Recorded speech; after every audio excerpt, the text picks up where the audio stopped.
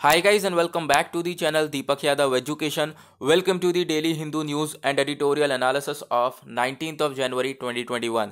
तो गाइज़ आज है तारीख 19 जनवरी 2021 और है ट्यूसडे देखेंगे आज का the Hindu complete newspaper the Hindu complete newspaper को एनालाइज करेंगे बट लेक्चर में आगे बढ़ने से पहले, अगर आप लोगों को ये कंप्लीट न्यूज़पेपर चाहिए तो क्या करना है सबसे पहले डाउनलोड करना है टेलीग्राम और फिर सर्च बॉक्स में टाइप करना है Deepak Yadav education as you can see guys आप लोग को ये चैनल मिल जाएगा। बिल्कुल सिंपल है। इस पर आप लोग क्लिक करोगे तो नीचे ज्वाइन नाउ का ऑप्शन देखने को मिलेगा। ज्वाइन कर लेना। देखो, अगर आप लोग को इस तरीके से चैनल नहीं मिलता है बाय चांस तो क्या करना है? नीचे डिस्क्रिप्शन बॉक्स में आप लोग को टेलीग्राम का लिंक गिवन है। उस लिंक के ऊपर क्लिक करोगे तो ये चैनल ओपन हो जाएगा, क्योंकि वो इसी चैनल का लिंक है। तो एक आसान तरीका है लिंक को क्लिक करके भी आप ज्वाइन कर सकते हो। देखो, मैं बार बार क्यों कह रहा हूँ इसे ज्वाइन करने को? क्योंकि यहाँ पे आपको डेली द हिंदू न्यूज़पेपर मिल जाता है। आप डेली यहाँ से डाउनलोड कर सकते हो। सेकंड चीज़, जो भी करंट अफेयर्स होता है इंपॉर्टेंट उनका बैकग्राउंड एनालिसिस पोर्शन यहाँ पे आपको दे दिया जाता है। थर्ड थिंग जो डेली करंट अफेयर का वीडियो का नोटिफिकेशन ये मिल जाता है। साथ ही साथ इसकी पीडीएफ भी मिल जाती है। तो यानी करंट अफेयर्स की आप टेंशन ख़त्म कर दो, क्योंकि यहाँ पर सारी चीज़ें आपको मिल जाती हैं। नाउ आगे बढ़ते हैं और अभी तक आपने इस YouTube चैनल को सब्सक्राइब नहीं किया है तो नीचे रेड कलर का बटन आ रहा होगा। सबसे पहले इस चैनल को सब्सक्राइब कर लो, साथ ही साथ बेल आइकन भी प्रेस कर लेना, ताकि आप कोई भी वीडियो का नोटिफिकेशन मिस ना कर पाओ। ना हमेशा की तरह हम लोग एक मैप के क्वेश्चन के साथ लेक्चर को स्टार्ट करेंगे, और आज आप लोग को मैप में जाकर देखना है येमेन को, ठीक है? किसे देखना है? येमेन को। तो सभी लोग जाकर येमेन को मैप में देखना, कहाँ पर लोकेटेड है कौन कौन से प्लेसेस से ये बॉर्डर शेयर करता है, ये सारी चीज़ें इंपॉर्टेंट हो जाती है। मैपिंग एक बहुत इंपॉर्टेंट पोर्शन है आपकी यूपीएससी के प्रिपरेशन में। ओके तो जिन लोगों को नहीं मालूम है, वो मैप को अच्छी तरीके से देख कर आके नीचे कमेंट सेक्शन में टाइप करना और जिससे आप लोग लंबे समय तक याद रख पाओगे। नाउ स्टार्ट करेंगे डिस्कशन सबसे पहला आर्टिकल आता है वैक्सीन से रिलेटेड यहाँ पर वैक्सीन को वैक्सीन के बारे में बताया गया कि क्या इसका, आप कह सकते हो इफ़ेक्ट है। सबसे पहले मैं आपको बताना चाहूँगा कि वैक्सीनेशन हम लोगों ने स्टार्ट किया था 16 जनवरी से। तो 16 जनवरी से हम लोगों ने वैक्सीनेशन स्टार्ट कर दिया। काफ़ी हद तक हम लोगों को वैक्सीन दे चुके हैं। कौन कौन सी ये दो वैक्सीन हैं? इंडिया के अंदर दो मेड इन इंडिया वैक्सीन बनाई गई हैं। वो है, एक तो है को कोवैक्सीन और दूसरा है कोविशील्ड तो ये दो वैक्सीन का इस्तेमाल करा जा रहा है। और इसी को यहाँ पे, इसी से लोगों को वैक्सीनेट करा जा रहा है। नाउ बात करें यहाँ पे कोवैक्सीन के बारे में। तो ये जो कोवैक्सीन के बारे में आर्टिकल दिया गया है कि इसको हम लोग ज़्यादा इस्तेमाल नहीं कर सकते। क्यों? अगर एलर्जी है फीवर है या फिर पुअर इम्यूनिटी है तो इन केसेस में कोवैक्सीन का इस्तेमाल नहीं कर सकते।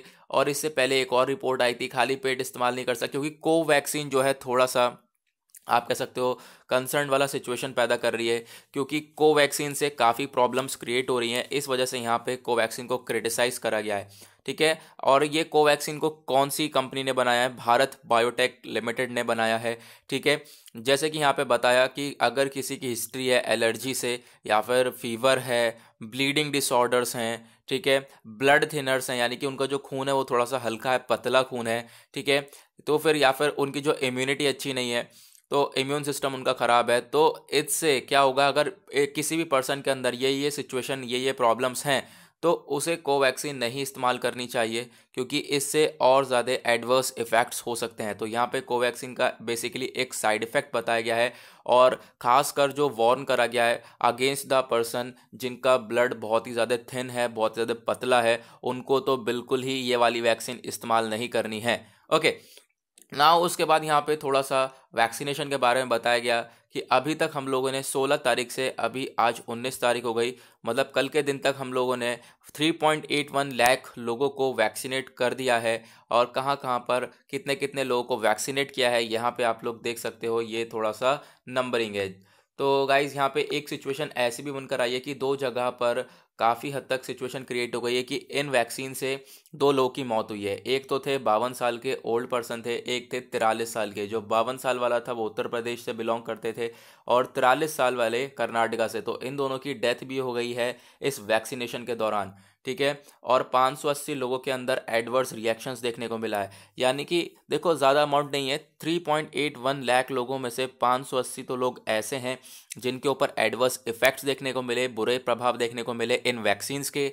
और सेकेंड चीज़, दो लोगों की यहाँ पे मौत हुई है इस वैक्सीन के द्वारा। तो ये कंप्लीट आर्टिकल था यहाँ पर, ये सारी चीज़ें बताई गई हैं रिलेटेड टू वैक्सीन्स ओके ना उसके बाद बराबर में नेक्स्ट आर्टिकल आप लोग को देखने को मिलेगा। यहाँ पर सुप्रीम कोर्ट क्या बोलता है? सुप्रीम कोर्ट ने बोला कि सिर्फ़ और सिर्फ़ जो पुलिस है, उसे ही डिसाइड करना चाहिए ट्रैक्टर रैली के ऊपर जो भी यहाँ पे डिसीज़न लिया जाए। अब यहाँ पे ट्रैक्टर रैली की बात आ रही है। ट्रैक्टर परेड करना चाहते हैं हमारे किसान भाई। किसान भाई 26 जनवरी रिपब्लिक डे को ट्रैक्टर परेड करेंगे। ठीक है, इनका पूरा का पूरा गोल बना रखा है इन्होंने, ट्रैक्टर परेड करेंगे ही करेंगे। और इनके द्वारा ये भी बोला जा रहा है, जो भी ऑफिशियल काम होते हैं 26 जनवरी को, जैसे कि हमारे आर्मी की परेड होती है, जो भी ऑफिशियल वर्क्स होते हैं, उनके अंदर कोई बाधा नहीं आएगी, लेकिन इनको ट्रैक्टर परेड करने देना चाहिए, ऐसा यहाँ पर इनके द्वारा कहना है, ठीक है। अब यहाँ पर ये परेड कर क्यों रहे हैं? ये परेड कर रहे हैं अपने प्रोटेस्टिंग का एक पार्ट की दौरान, ठीक है। और ये प्रोटेस्ट क्यों कर रहे हैं? ये प्रदर्शन कर रहे हैं रिगार्डिंग दी फार्म बिल्स जो कि सेंटर ने पास किए थे ठीक है? तीन फार्म बिल्स सेंटर के द्वारा पास करे गए थे। उनके अगेंस्ट हमारे फार्मर्स पिछले पाँच महीने से प्रोटेस्ट लगातार कर रहे हैं। नाउ अब 26 जनवरी को इन लोगों ने डिसाइड किया है कि ये लोग ट्रैक्टर परेड करेंगे आ, हमारे इंडिया का झंडा लेकर ठीक है? तो इनके द्वारा ये सारी बातें बोली गई हैं। तो यहाँ पर ये यह आर्टिकल के अंदर यही सारी चीज़ें को थोड़ा सा घुमा फिरा के वही चीज़ें बार बार बताई गई हैं तो आप लोग जो है इसे स्किप कर सकते हो। ओके उसके बाद यहाँ पे आप लोग देखोगे जो फार्म यूनियंस हैं और जो मिनिस्टर्स हैं वो कल मी, मीटिंग में मिलने वाले हैं और भी यहाँ पर थोड़ा सा डेट वगैरह आने वाली है कि किस तरीके से जो है आपस में इनके चीज़ों को क्लियर करा जाए जो भी विवाद हैं आपस में फार्मर्स और जो है फार्मर्स और गवर्नमेंट के बीच में तो क्या, कैसे इन दोनों के डिस्प्यूट्स को क्लियर करा जाएगा तो ये सारी चीज़ें भी हम लोग आगे देखने वाले हैं। ओके ना उसके बाद हम लोग बढ़ेंगे आगे पेज नंबर टू के ऊपर आएँगे। कोई इंपॉर्टेंट आर्टिकल है नहीं हमारे पास, जो कि पेज नंबर टू पे से हम लोग डिस्कस करें। ठीक है, फिर उसके बाद आगे बढ़ेंगे पेज नंबर थ्री के ऊपर आएँगे। पेज नंबर थ्री पर भी कोई इंपॉर्टेंट आर्टिकल है नहीं, आप लोगों को मालूम होगा स्कूल्स के अंदर, दिल्ली में जो C B S E schools हैं, वो ओपन हो चुके हैं। लोगों के अंदर उत्साह काफ़ी देखने को मिला टीचर्स के अंदर देखने को मिला, ठीक है? तो यहाँ पे वही बताया गया, जो स्कूल्स हैं वो ओपन हुआ है, काफ़ी लंबे समय से अभी तक क्लोज थे, अब फाइनली जो है, साल भर के बाद ये स्कूल्स ओपन हुए हैं। ना उसके बाद यहाँ पर एक एक ये आर्टिकल है जो कि काफ़ी हद तक लोग स्किप कर देंगे। यहाँ पे आप लोग को देखने को मिलेगा, दिल्ली में थर्टी परसेंट तक जो है स्ट्रीट क्राइम जो है, वो डाउन देखने को मिला है। तीस परसेंट से जो गलियों में जो भी क्राइम्स होते थे, ठीक है, जो भी यहाँ पे देखने को मिलता था हम लोग को रिगार्डिंग रॉबरी वगैरह, जो भी क्राइम होते थे, उसके अंदर ड्रॉप डाउन देखने को मिला है, ठीक है? तो ये सारी चीज़ें यहाँ पे पता लगाई गई हैं। कैसे पता लगाई गई? क्योंकि भाई, कोई भी क्राइम आ क्राइम होता है तो पुलिस के पास फ़ोन आता है तो पहले ज़्यादा फ़ोन आए थे। इस साल अब यहाँ पे जो लास्ट ईयर है, उसमें बहुत ही ज़्यादा कम फ़ोन आए। ठीक है, जिससे यहाँ पे पता लगाया गया कि क्राइम्स जो हैं दिल्ली के अंदर वो थोड़े से डाउन हो चुके हैं। ना पेज नंबर फाइव के ऊपर आएँगे। पेज नंबर फाइव पे यहाँ पे आपको ये वाला आर्टिकल देखने को मिलेगा। काफ़ी ज़्यादा पॉपुलर हो चुका है ये अर्नब गोस्वामी के बारे में। तो अर्नब गोस्वामी इतना ज़्यादा न्यूज़ के अंदर है क्यों? क्योंकि इनकी जो व्हाट्सएप चैट है वो लीक हो चुकी है। और व्हाट्सएप चैट ये किसके साथ कर रहे थे? ये व्हाट्सएप चैट कर रहे थे बी ए आर सी के फॉर्मर सी और वो फॉर्मर सीईओ कौन है, मैं अभी आप लोगों को बताऊँगा, ठीक है? तो यहाँ पे इनकी व्हाट्सअप चैट आप कह सकते हो लीक हुई है और बीस ये बी ए आर सी के सीईओ फॉर्मर सीईओ कौन है? पार्थो दास गुप्ता, ठीक है? तो इनके साथ जो है ये चैट लीक हुई और इस चैट में काफ़ी सारी सिचुएशन क्रिएट हो गई है, काफ़ी ज़्यादा आप कह सकते हो बवाल देखने को मिल रहा है। देखो, पहले मैं आपको बताता हूँ कि अगर ये चैट असलियत हुई ये अगर चैट बिल्कुल ट्रुथ हुई तो फिर यहाँ पे हमारे इंडिया के लिए बहुत ही ज़्यादा चिंताजनक बात होने वाली है। देखो, इस चैट के अंदर अर्नब गोस्वामी ने खुद यहाँ पे जो बीआरसी के सीईओ हैं, उनसे कह रखा है कि जो है इन्हें आप कह सकते हो पंद्रह बीस मिनट पहले आप कह सकते बालाकोट स्ट्राइक के बारे में मालूम था, ठीक है? बालाकोट स्ट्राइक के बारे में इन्हें पहले से ही मालूम था, ठीक है? तो ये बहुत बड़ी बात है, बालाकोट स्ट्राइक के बारे में इन्हें पहले से मालूम था। सेकेंड चीज़, क्या सेकंड uh, चीज़ ये बताया गया इनके द्वारा कि आर्टिकल 370 को जो एब्रोगेट किया था हमने वो भी इनको बहुत पहले से ही मालूम था। तो ऐसी सिचुएशन क्रिएट हो रही है कि बहुत सारी चीज़ें इन्हें बहुत पहले से ही मालूम थी गवर्नमेंट के स्टेप उठाने से पहले ही। ठीक है? तो गाइज़ यहाँ पर ये सारी चीज़ें बहुत बड़ी बात हो सकती है अगर ये जो चैट्स हैं ये बिल्कुल असलियत निकलती हैं तो। ओके ना, उसके बाद बराबर वाला आर्टिकल यहाँ पे अच्छा एक चीज़ और, अगर आप लोगों को इसको थोड़ा सा और डिटेल में जानना है ना, कल के न्यूज़पेपर एनालिसिस में मैंने और डिटेल में डिस्कस किया है, आप जाकर वहाँ पर भी देख सकते हो, ठीक है? फ़िलहाल यहाँ पे इतना कुछ है नहीं, यही चीज़ है कि जो व्हाट्सएप चैट है वो लीक हुई है किसी दूसरे पर्सन के साथ, जो X B R C C E O हैं ठीक है? और इसमें यही सारी चीज़ें बताई गई, जो भी इंसिडेंट्स हुए हैं, उसके दस पंद्रह मिनट या फिर एक दो दिन पहले से ही अर्नब गोस्वामी को ये सारी चीज़ें मालूम थी। ठीक है? तो यही सारी चीज़ें इनकी व्हाट्सअप चैट क्योंकि और क्या करोगे? क्योंकि जो व्हाट्सअप चैट है, ये चौंतीस सौ पेज की लीक करी गई चौंतीस सौ पेज का, पूरा का पूरा चार्जशीट बनाया गया है। कितना पढ़ोगे आप? ठीक है? तो यहाँ पे जो मेन मेन हाईलाइट्स हैं, मैंने आप लोगों को बता दिया है। ना उसके बाद यहाँ पे नेक्स्ट आर्टिकल आप लोगों को देखने को मिलेगा। More Punjab farmers set to move to Delhi यानी और ज़्यादा फा, जो फार्मर्स हैं वो दिल्ली जा रहे हैं ट्रैक्टर परेड के लिए ठीक है? क्योंकि आने वाली है छब्बीस जनवरी तो जो है ट्रैक्टर परेड के लिए ज़्यादा से ज़्यादा फार्मर्स चाहते हैं कि ज्वाइन करें और जो और फार्मर्स जाकर अब ज्वाइन कर रहे हैं ठीक है? ना उसके बाद आते हैं हम लोग आगे बढ़ते हैं। पेज नंबर एट के ऊपर पेज नंबर एट पर यहाँ पे आपको एक आर्टिकल देखने को मिलेगा। ये जो आर्टिकल्स हैं, हमने अभी पेज नंबर वन के ऊपर ऑलरेडी डिस्कस कर लिए हैं। सबसे पहला वही चीज़ बताई गई है, चलो रिवाइज कर लेते हैं। कोवैक्सीन है, उसको हमें इस्तेमाल नहीं करना है। अगर किसी को एलर्जी फीवर ठीक है, ऐसी सारी कंडीशंस हैं तो फिर उनको ये कोवैक्सीन का इस्तेमाल नहीं करना है, क्योंकि इससे और ज़्यादा एडवर्स इफ़ेक्ट्स पड़ सकते हैं, या फिर जिनका खून पतला है ब्लड थिनर है, उन्हें भी ये इस्तेमाल नहीं करना चाहिए। ओके ना उसके बाद यहाँ पे बताया गया, देखो, वैक्सीनेशन हमने 16 जनवरी से स्टार्ट किया 16 17 18 आज कितनी तारीख हो गई? उन्नीस। तो इन तीन दिनों में खूब वैक्सीनेशन हुए, जो लास्ट वाला अभी अट्ठारह तारीख है अट्ठारह तारीख में 1.48 point four eight lakh persons को हम लोग शॉट दे दे चुके हैं इस वैक्सीन का। ओके ना उसके बाद नेक्स्ट आर्टिकल यहाँ पे देखने को मिलेगा। Only police should decide on tractor rally यानी कि सिर्फ़ और सिर्फ़ पुलिस को ही डिसाइड करना चाहिए ट्रैक्टर रैली के ऊपर। ऐसा सुप्रीम कोर्ट ने बोला, ये मैंने अभी आपको पेज नंबर वन के ऊपर डिस्कस करा था। उसके बाद ये भी हम लोगों ने अभी पेज नंबर वन पर ही डिस्कस किया कि जो फार्म यूनियंस हैं और मिनिस्टर्स हैं, ये कल मिलने वाले हैं और देखेंगे क्या सिचुएशन क्रिएट होने वाली है ओके तो गाइज़ यहाँ पे ये थे आर्टिकल उसके बाद आगे बढ़ते हैं पेज नंबर नाइन की तरफ़। पेज नंबर नाइन पे सबसे छोटा सा आर्टिकल पहले आपको राफेल से रिलेटेड देखने को मिलेगा। यहाँ पे बताया गया राफेल जो है अपना डेबट दिखाएगा रिपब्लिक डे परेड पर। यानी कि एक रफाल आएगा रिपब्लिक डे पर 26 जनवरी पर एक रफाल चलाया जाएगा, उसको शोकेस करा जाएगा राजपथ पर, ठीक है? तो फिर गाइज़ यहाँ पर हम लोग देखेंगे 26 जनवरी पर एक रफाल को चलते हुए, ठीक है? तो अपना डेबट देने वाला है एक रफाल डेबुट ठीक है? ना उसके बाद बराबर में यहाँ पे एक आर्टिकल है और ये वही चीज़ है जब भी हम डिस्कस कर रहे हैं सुप्रीम कोर्ट ने अपॉइंट कर लिया है एक पैनल बना ली है एक, आप कह सकते हो जो कमेटी है अपॉइंट कर ली है सुप्रीम कोर्ट ने।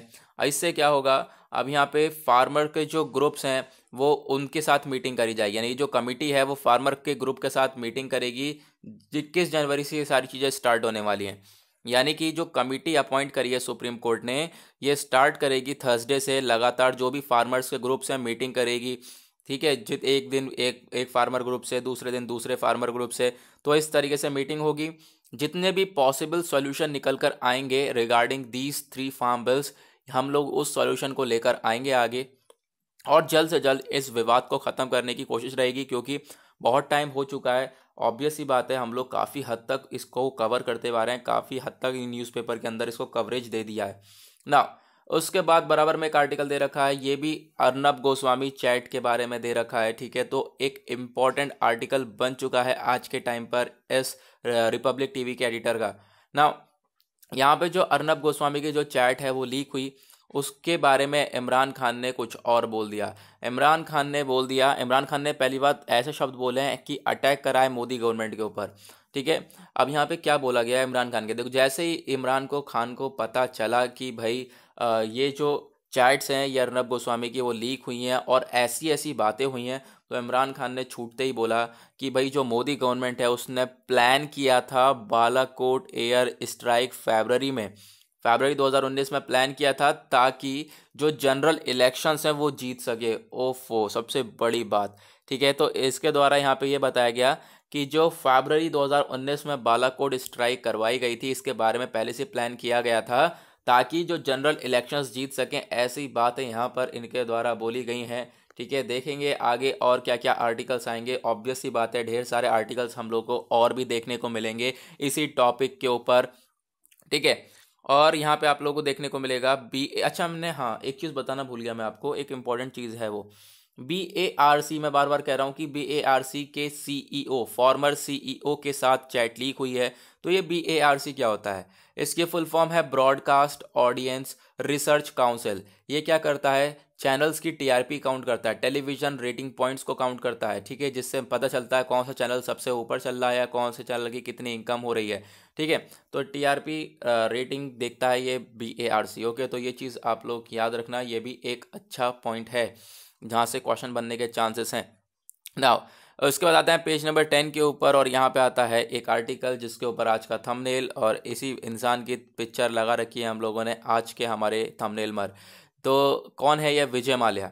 अगर हम बात करें यहाँ पे क्या बात हो रही है basically legal issues delaying Mallya's extradition यानी यूके के अंदर इंग्लैंड के अंदर अभी विजय माल्या हैं, ठीक है? और वहाँ से जो यूके गवर्नमेंट है, वो इन्हें बाहर अभी भेज नहीं रही है एक्सट्रेडिशन नहीं कर रही है। एक्सट्रेडिशन मतलब वहाँ से निकाल नहीं रही है अभी कुछ लीगल इश्यूज़ की वजह से। तो लीगल इश्यूज़ जो हैं वो डिले कर रहे हैं बार बार इनका एक्सट्रेडिशन, ठीक है, कि इन्हें, आप कह सकते हो, इंडिया लाने की पूरी पूरी कोशिश करी जा रही है, लेकिन यूके गवर्नमेंट के कुछ लीगल इश्यूज़ हैं जिनकी वजह से हम लोग इसे अभी ला नहीं पा रहे हैं या फिर यूके गवर्नमेंट जो है इसे बाहर नहीं निकाल पा रही है यूके से। ओके तो आप जानते ही होंगे इसके बारे में सभी लोग तो हैं कौन ये जिन्होंने लिया था खूब सारा लोन और लेकर भाग गए थे और बैंक की सिचुएशन ख़राब हो गई थी, इसी इंसान की वजह से क्योंकि देखो, ये इंसान ऐसा है जिसकी वजह से इकॉनमी के ऊपर काफ़ी बुरा प्रभाव पड़ा है, ठीक है? ऑब्वियस सी बात है, इतना अमाउंट लेके भागे थे तो बुरा प्रभाव तो पड़ेगा। बैंक को छोड़ दिया नॉन परफॉर्मिंग एसेट के क्राइसिस में एनपीए क्राइसिस में छोड़ दिया। एनपीए क्राइसिस बढ़ता हुआ नज़र आया, जब ये लेके भागे पैसा। तो फिर उसी के बारे में यहाँ पर बताया गया कि हम लोग इसी की खोज में है कि भाई कब जल्दी से हम लोग इसे इंडिया को लेकर आएँ। कब जल्दी से इंडिया में लेकर आएँ, लेकिन यूके के अंदर बैठे पड़े हैं और उसके बाद यूके गवर्नमेंट ने इंडियन में बोला, इंडिया से बोला कि जो ये बिजनेसमैन विजय माल्या है, इसको अभी एक्स्ट्राडाइट नहीं करा जाएगा, यानी अभी नहीं भेजा जाएगा यूके से जब तक कुछ कुछ लीगल इश्यूज़ रिजॉल्व नहीं हो जाते। कुछ लीगल इश्यूज़ हैं, उनको सॉल्व नहीं हो जाते वो जब तक, तब तक इसको नहीं निकाला जाएगा। यूके से सिंपल सिंपल यूके गवर्नमेंट ने ये बात बोली है। ओके तो आप लोगों को मालूम चल गया इसके बारे में। बहुत से लोगों को नहीं मालूम था तो मालूम था बच्चे बच्चे को ज़्यादातर मालूम ही है। जैसे हर्षद मेहता के बारे में मालूम है, वैसे ही इस पर्सन के बारे में भी काफ़ी हद तक मालूम है ओके ना उसके बाद ये इसके बराबर वाला आर्टिकल यहाँ पे नज़र आएगा पीएलए से, जो लैंड अंडर पीएलए कंट्रोल ठीक है? यहाँ पे बताया गया सिंस 1959 यानी कि चाइना में जो चाइना के पास जो आप कह सकते हो, ये जो लैंड है यहाँ आप कह सकते हो, जो इंडिया चाइना के बॉर्डर पर जो थोड़ा सा लैंड है, वो चाइना के कंट्रोल में, वो 1959 से ही वो लैंड है, यहाँ पे ये बताया जा रहा है। लेकिन बात इस आर्टिकल में कुछ और है। वो क्या है? मिनिस्ट्री ऑफ़ एक्सटर्नल अफेयर्स ने मंडे में बोला it was aware of infrastructure यानी कि मिनिस्ट्री ऑफ़ एक्सटर्नल अफेयर्स पहले से ही अवेयर थी, पहले से ही मालूम था कि भाई जो चाइना है, वो अपना कंस्ट्रक्शन कर रहा है इंडिया चाइना बॉर्डर के ऊपर, ठीक है? यानी कि एलएसी पर। पिछले कुछ सालों से कंस्ट्रक्शन जारी है, लेकिन इंडिया ने भी अपना कंस्ट्रक्शन चालू कर दिया है और इंडिया भी अपना कंस्ट्रक्शन बढ़ाना चालू कर रहा है। नाउ ये जो स्टेटमेंट है, ये कब आई? जब एक रिपोर्ट आई है एनडीटीवी के द्वारा और एनडीटीवी ने एक सैटेलाइट इमेजेस दिखाई हैं कि जो चाइनीज़ हैं वो पूरी तरह से सेटल हो रहे हैं अरुणाचल प्रदेश की साइड पर, ठीक है? वहाँ पे अपना कंस्ट्रक्शन कर रहे हैं, लेकिन उसको देखते हुए इंडिया ने भी अपना कंस्ट्रक्शन स्टार्ट कर दिया है। तो बेसिकली ये था कि दोनों कंस्ट्रक्शन कर रहे हैं अपने बॉर्डर्स पर। देखो, यहाँ पे सबसे बड़ा पॉइंट एक और ये भी है कि इन, देखो चाइना कंस्ट्रक्शन कर रहा है अपनी साइड तो कोई बात नहीं, लेकिन अगर इंडिया कंस्ट्रक्शन करेगा तो चाइना वहाँ से चिड़ भी जाता है। इंडिया से उसी वजह से इन दोनों के बीच में डिस्प्यूट देखने को मिल जाते हैं। अगर हम बात करें ये जो पिछला 2000 साल 2020 में जो इन दोनों के बीच में विवाद देखने को मिला, उसके पीछे का भी एक बहुत बड़ा मेन रीज़न ये भी था कि जो इंडिया है, देखो चाइना ने अपनी तरफ़ अच्छी तरीके से डेवलप कर रखा है कंस्ट्रक्ट कर रखा है, लेकिन इंडिया को कंस्ट्रक्ट करने नहीं दे रहा है। तो एक बहुत बड़ा रीज़न ये भी था। ओके नाउ उसके बाद आगे बढ़ेंगे और सेम पेज पे यहाँ पे एक और आर्टिकल देखने को मिलेगा। ये बताया जा रहा है new monsoon forecast models on the anvil मतलब क्या है? जो इंडियन मेट्रोलॉजिकल डिपार्टमेंट है इंडिया का मौसम विभाग है, भारत मौसम विभाग है ये वर्क करेगा जो वर्क किसके ऊपर करेगा कि जो रेनफॉल प्रडिक्शंस है, उसके मेथड्स को और अच्छी तरीके से इम्प्रूव कर सकें। अभी नहीं समझ में आया। देखो क्या है। IMD India meteorological department Bharat मौसम विभाग का काम यह है कि मौसम के बारे में बताना हम सभी लोगों को कि किस तरीके से मौसम कल के समय रहने वाला है। आने वाले टाइम में कैसा मौसम रहने वाला है, कैसा वेदर रहने वाला है, जिसको हम लोग वेदर फोरकास्टिंग बोलते हैं। ठीक है? कि फोरकास्ट करना, अंदाज़ा लगाना कि हाँ भाई, आने वाले टाइम पे कैसा वेदर रहेगा, बारिश होगी, नहीं होगी, तेज़ होगी, कम होगी, क्या सिचुएशन रहने वाली है, धूप निकलेगी, नहीं निकलेगी क्लाउडी रहेगा। ये सारी सिचुएशन बताता है हमें आईएमडी तो फिर ऐसे सिचुएशन पे बताने के लिए अब यहाँ पे आईएमडी अपने अंदर इम्प्रूवमेंट कर रहा है और इसने बोला कि जो रेनफॉल की प्रोडिक्शंस यानी बारिश को लेकर जो भी ये बताता है, जो भी अंदाज़ा लगा कर बताया जाता है उस पर उनके जो मेथड्स हैं, जो अभी के टाइम पे इस्तेमाल करता है ये, उसको इम्प्रूव करके नए मेथड्स लाए जाएँगे और उनके अंदर सुधार करा जाएगा, जिससे हम लोग को एक एक्यूरेट इन्फॉर्मेशन मिलेगी रिगार्डिंग द वेदर ओके ना, उसके बाद आगे बढ़ेंगे पेज नंबर एलेवन के ऊपर, यहाँ पे आपको एडवर्टीजमेंट देखने को मिलेगा, ठीक है ट्वेल्व के ऊपर एडवर्टीजमेंट देखने को मिलेगा नाउ पेज नंबर थर्टीन पे आप लोग देखने को मिलेगा वर्ल्ड पेज के ऊपर वर्ल्ड के पेज के ऊपर एक दो आर्टिकल हैं जो कि डिस्कस करने लायक हैं तो सबसे पहला यहाँ पे आपको ये देखने को मिलेगा, इमरान खान जो है, वो श्रीलंका में विज़िट करने वाले हैं, श्रीलंका की टूर पर टूर पे कह रहा हूँ, श्रीलंका की विज़िट पर जाने वाले हैं तो जो पाकिस्तान के पीएम हैं वो फेबररी के एंड में जो है श्रीलंका में जाएँगे। देखो क्या होता है, मदद तो कुछ कर नहीं सकते लेकिन जाएँगे, पता नहीं क्या करने जाएँगे। ठीक है, क्या पता मांगने जा रहे हो कुछ। चलो, अगर यहाँ पे बात करें अभी हाँ देखो पाकिस्तान के प्राइम मिनिस्टर जा रहे हैं, ठीक है, विज़िट पर, देखते हैं क्या होगा। लेकिन अभी आपको ये भी याद रखना है कि जो इंडिया के एक्सटर्नल अफेयर मिनिस्टर हैं एस जयशंकर जी तो ये भी अभी तीन डी, तीन दिन की विज़िट पर गए थे कोलंबो में, ठीक है।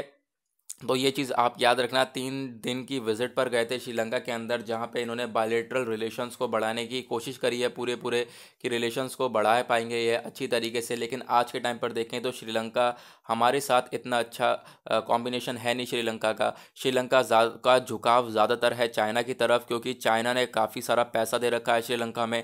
चाइना ने काफ़ी अच्छा तरीके से इंफ्रास्ट्रक्चर डेवलपमेंट करने की बात करे रखी है श्रीलंका के अंदर। तो ऑब्वियस ही बात है, पैसा दे रहा है इंफ्रास्ट्रक्चर डेवलप कर रहा है वहाँ के डेवलपमेंट की जिम्मेदार है तो फिर वहीं पर झुकेगा तो श्रीलंका जो है काफ़ी हद तक चाइना की तरफ़ झुक रहा है।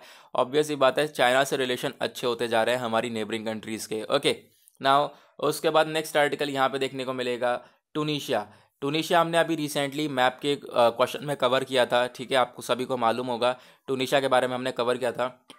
यहाँ पे क्या बात करी जा रही है टूनिशिया के अंदर टूनिशिया ने अरेस्ट करे हैं 600 लोगों को। 600 लोग जो कि दंगे कर रहे थे और उनको अरेस्ट कर लिया गया है और ट्रूप्स को फैला दिए गए हैं। बहुत सारी जगहों पर दंगे देखने को मिले हैं, काफ़ी सारे शहरों में दंगे देखने को मिल रहे हैं तो वहाँ पर इनको अरेस्ट करा गया 600 लोगों को और भाई अरेस्ट करने के बाद जो है, जो भी ट्रूप्स है उनको फैला दिया गया है, सिपाहियों को फैला दिया गया है। नाव उसके बाद नेक्स्ट जो आते हैं पेज नंबर फोर्टीन के ऊपर that is business page economy related article पढ़ने वाले हैं यहाँ पर हम लोग। तो सबसे पहला आर्टिकल यहाँ पे दिया गया है government may raise import duties by five to ten percent यानी गवर्नमेंट जो है इम्पोर्ट ड्यूटीज़ को बढ़ाने वाली है, यानी कि मान लो ये है यूएसए और ये है इंडिया अगर यूएसए को अपना कोई प्रोडक्ट इंडिया के अंदर एक्सपोर्ट करना है और इंडिया इम्पोर्ट करेगा तो इस पर चार्ज लगेगा. चार्ज लगेगा तो यूएसए का थोड़ा बहुत नुकसान होगा, ठीक है? तो फिर यहाँ पे हम लोग हैवी चार्ज को लगा, लगाते हैं, जिसे हम लोग इम्पोर्ट ड्यूटीज़ बोलते हैं और उसी चार्ज को बढ़ा दिया है इंडिया ने पाँच से दस परसेंट तक, ठीक है? अब ये कौन कौन से प्रोडक्ट्स के ऊपर बढ़ाया है, यहाँ पे आपको देखने को मिलेगा। और इस इम्पोर्ट ड्यूटी को बढ़ाने से इंडिया का क्या फ़ायदा होगा, ये भी हम लोग डिस्कस करेंगे। तो इंडिया को बोला जा रहा है यहाँ पे आ, इंडिया ने इंपोर्ट ड्यूटीज़ को बढ़ाया पाँच से दस परसेंट कम से कम पचास आइटम से ऊपर के इन पचास से भी ज़्यादा आइटम्स पे ये इंपोर्ट ड्यूटीज़ को बढ़ाया गया है। जैसे कि स्मार्टफोन्स हो गए इलेक्ट्रिक कंपोनेंट्स अप्लाइंसेस ये सारी चीज़ें जो कि हमारे अपकमिंग बजट में होंगी। बजट कब आएगा? एक फरवरी को हमारा नया बजट भी आने वाला है साल 2021 के लिए। ओके ना अगर हम बात करें अब यहाँ पर इससे फ़ायदा क्या होगा? इम्पोर्ट ड्यूटीज़ को बढ़ाने से ये फ़ायदा होगा कि जो हम अपना डोमेस्टिक मैनुफैक्चरिंग है, उसको सपोर्ट कर पाएँगे, उसको प्रमोट कर पाएँगे। ऑब्वियस ही बात है इम्पोर्ट फिर अगर हम लोग ड्यूटीज़ बढ़ा देंगे तो वो कम बिकेगा, ठीक है? और क्या होगा, हम लोग अपने खुद को, अपने खुद के कंट्री के अंदर चीज़ों को अच्छी तरीके से मैनुफैक्चरिंग कर पाएँगे ओके ना उसके बाद नेक्स्ट आर्टिकल यहाँ पे देखने को मिलेगा चाइना की इकॉनमी के बारे में। चाइना की इकॉनमी ग्रो हुई है टू पॉइंट थ्री परसेंट से। और यहाँ पे ये बोला जा रहा है टू पॉइंट थ्री परसेंट से कम से कम पिछले चवालीस साल में भी इतने धीरे धीरे चाइना की इकोनॉमी ग्रो नहीं हुई, जितनी धीरे से आज ग्रो हुई है। यानी कि काफ़ी हद तक तेज़ी से चाइना की अर्थव्यवस्था आज तक ग्रो होती हुई आई है। लेकिन कोविड नाइन्टीन पेंडेमिक के दौरान और बहुत सारे कंट्रीज़ के साथ रिलेशन खराब, ख़राब होने के दौरान, ठीक है, क्या हुआ है कि इसकी जो इकॉनमी है, उसकी स्पीड कम हो गई है, बहुत कम स्पीड से चाइना की इकॉनमी ग्रो हो रही है ठीक है? मतलब रिलेशंस वगैरह काफ़ी हद तक ख़राब हैं चाइना के, अगर हम देखें बाकी अदर कंट्रीज़ से। उसके बाद एक आर्टिकल छोटा सा ये भी है, यहाँ पर क्या बताया गया? इंडिया और चाइना जो है may take lead in Asia's covid vaccination plans. यहाँ पे इंडिया और चाइना जो है वो लीड कर सकते हैं इस वैक्सीनेशन प्लान में। ठीक है, आर्टिकल इंपॉर्टेंट नहीं है। वही दो आर्टिकल थे जो कि हमें डिस्कस करने लायक हैं और हमने इसको डिस्कस कर लिए। तो गाइज़ एडिटोरियल पे देखते हैं। वैसे आज के जो एडिटोरियल हैं वो एक भी इंपॉर्टेंट नहीं है तो आज हम लोग एडिटोरियल को डिस्कस नहीं करने वाले।